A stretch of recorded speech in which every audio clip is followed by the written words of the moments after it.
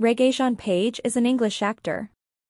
He appeared in the series Waterloo Road in 2015, Roots in 2016, and For the People from 2018 to 2019. He is known for his role in the first season of the Netflix period drama I Bridgerton in 2020.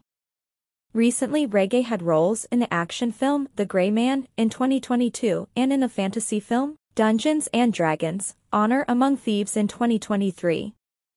When and where was Regé born? What was his path to acting? In which films or series you could see him? How much does he earn and who is he in a relationship with? You can find out all this in my new video about Regé-Jean Page.